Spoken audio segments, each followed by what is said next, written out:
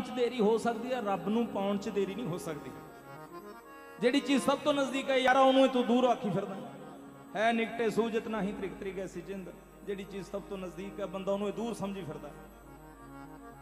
ਔਰ ਜਿਹੜਾ ਅਕੀਦਾ ਵਿਸ਼ਵਾਸ ਬਣਿਆ ਹੋਇਆ ਸੀ, ਉਹ ਹੋਰ ਦ੍ਰਿੜ ਹੋ ਗਿਆ ਕਿ ਨਹੀਂ, ਇਹ ਰੌਲਾ ਤਾਂ ਮੁਰਸ਼ਦ ਦੀ ਜਾਤ ਨੇ ਖਤਮ ਕਰਨਾ ਹੈ। ਸਜਦਾ ਕੀਤਾ ਤੇ ਫਿਰ ਇੱਕ ਦੋੜਾ ਲਿਖ ਰਹੇ ਨੇ। ਬਾਬਾ ਬੁੱਲੇ ਸ਼ਾਹ ਕੀ ਲਿਖ ਰਹੇ ਨੇ? ਰੱਬ ਰੱਬ ਕਰਦੇ ਬੁੱਢੇ ਹੋ ਗਏ। ਮੁੱਲਾ ਪੰਡਤ ਸਾਰੇ ਰੱਬ ਰੱਬ ਕਰਦੇ ਬੁੱਢੇ ਹੋ ਗਏ।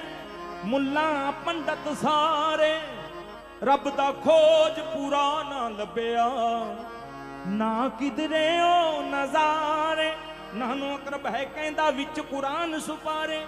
ਜਿਹਨੂੰ ਅਸੀਂ ਅੱਲਾ ਆਖਦੇ ਹਾਂ ਗੋਡ ਆਖਦੇ ਹਾਂ, ਵਾਹਿਗੁਰੂ ਆਖਦੇ ਹਾਂ, ਨਿਰੰਕਾਰ ਆਖਦੇ ਹਾਂ, ਇਹ ਸ਼ਾਰਕ ਤੋਂ ਵੀ ਨਜ਼ਦੀਕ ਹੈ।